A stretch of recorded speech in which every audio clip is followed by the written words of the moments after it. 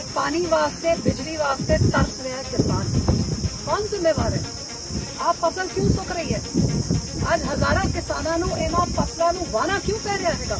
ਕਸੂਰ ਇਸ ਕਾਂਗਰਸ ਸਰਕਾਰ ਦੇ ਨਿਕੰਮੇ ਰਾਜੇ ਦਾ ਜਿਨੇ ਆਪ ਦੀ ਸਬਸਿਡੀ ਦੇ ਬਚਾਉਣ ਵਾਸਤੇ ਤਾਂ ਕਿ ਕਿਸਾਨਾਂ ਨੂੰ ਨਾ ਬਿਜਲੀ ਦੋ ਨਾ ਬਿਜਲੀ ਦੀ ਖਪਤ ਹੋਏ ਤੇ ਨਾ ਹੀ ਕਿਸੇ ਕਿਸਾਨ ਨੂੰ ਸਬਸਿਡੀ ਦੇਣ ਦੀ ਲੋੜ ਹੋਏ, ਬਿਜਲੀ ਹੀ ਬੰਦ ਕਰ ਦੋ। ਪੰਜਾਬੀ ਖਬਰਾਂ ਦੇ ਵਿੱਚ ਵੱਡੀ ਖਬਰ ਨਿਕਲ ਕੇ ਆ ਰਹੀ ਹੈ। ਪੰਜਾਬ ਦੇ ਵਿੱਚ ਬਿਜਲੀ ਦਾ ਸੰਕਟ ਦਿਨ ਪ੍ਰਤੀ ਦਿਨ ਗਹਿਰਾ ਹੁੰਦਾ ਜਾ ਰਿਹਾ ਜਿੱਥੇ ਵੱਖ-ਵੱਖ ਸਿਆਸੀ ਪਾਰਟੀਆਂ ਮੌਜੂਦਾ ਕੈਪਟਨ ਅਮਰਿੰਦਰ ਸਿੰਘ ਦੀ ਸਰਕਾਰ ਦੇ ਉੱਪਰ ਜੰਮ ਕੇ ਹਮਲੇ ਕਰ ਰਹੀਆਂ ਨੇ। ਉੱਥੇ ਹੀ ਆਮ ਲੋਕਾਂ ਨੂੰ ਵੀ ਗਰਮੀ ਦੇ ਵਿੱਚ ਬਿਜਲੀ ਦੇ ਕੱਟਾਂ ਦੀ ਮਾਰ ਦਾ ਸਾਹਮਣਾ ਕਰਨਾ ਪੈ ਰਿਹਾ ਹੈ। ਦੱਸਦੇ ਕਿ ਬਠਿੰਡੇ ਤੋਂ ਮੈਂਬਰ ਪਾਰਲੀਮੈਂਟ ਬੀਬੀ ਹਰਸਿਮਰਤ ਕੌਰ ਬਾਦਲ ਨੇ ਅੱਜ ਆਪਣੇ ਫੇਸਬੁੱਕ ਅਕਾਊਂਟ ਦੇ ਉੱਪਰ ਇੱਕ ਵੀਡੀਓ ਪਾ ਕੇ ਕੈਪਟਨ ਸਰਕਾਰ ਨੂੰ ਜਗਾਉਣ ਦੀ ਕੋਸ਼ਿਸ਼ ਕੀਤੀ ਹੈ ਤੇ ਇਸ ਵੀਡੀਓ ਦੇ ਵਿੱਚ ਬੀਬਾ ਹਰਸਿਮਰਤ ਕੌਰ ਬਾਦਲ ਇੱਕ ਖੇਤ ਦੇ ਵਿੱਚ ਖੜੇ ਸਨ, ਜਿੱਥੇ ਉਹਨਾਂ ਨੇ ਪਿੱਛੇ ਸੁੱਕ ਝੋਨੇ ਦੀ ਗੱਲਬਾਤ ਕੀਤੀ ਹੈ ਤੇ ਉਹਨਾਂ ਨੇ ਕਿਹਾ ਕਿ ਕੈਪਟਨ ਅਮਰਿੰਦਰ ਸਿੰਘ ਦੀ ਸਰਕਾਰ ਜਾਣਬੁੱਝ ਕੇ ਕਿਸਾਨਾਂ ਨੂੰ ਬਿਜਲੀ ਨਹੀਂ ਦੇਣਾ ਚਾਹੁੰਦੀ, ਕਿਉਂਕਿ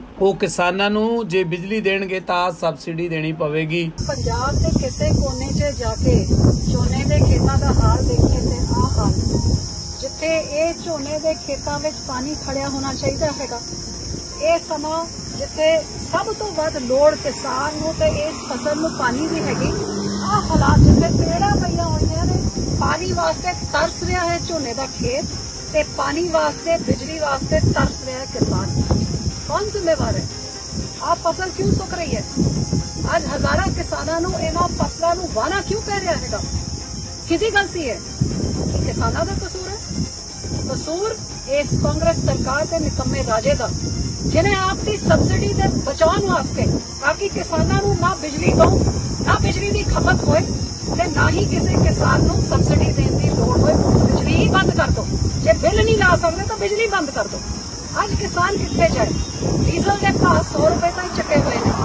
ਕੇਂਦਰ ਦੀ ਸਰਕਾਰ ਦੀ ਮਾਰ ਇੱਕ ਪਾਸੇ ਤੇ ਕੈਪਟਨ ਦੇ ਟੈਕਸਾਂ ਦੀ ਮਾਰ ਦੂਜੇ ਪਾਸੇ ਨਾ ਡੀਜ਼ਲ ਫੂਕ ਕੇ ਆਪਣੀ ਫਸਲ ਨੂੰ ਬਚਾ ਸਕਦਾ ਹੈ ਇਹਦਾ ਸੁੱਕੀਆਂ ਪਈਆਂ ਨੇ ਬਿਜਲੀ ਆ ਨਹੀਂ ਰਹੀ ਹੈ ਤੇ ਫਸਲ ਮੱਚ ਕੇ ਸੜੀ ਜਾ ਰਹੀ ਹੈ ਇਹ ਕਿਸਾਨ ਦੇ ਸਾਲ ਭਰ ਦੀ ਆਮਦਨ ਦਾ ਮਿਹਨਤ ਦਾ ਇਹ ਹਸ਼ੇ ਇਹ ਨਤੀਜਾ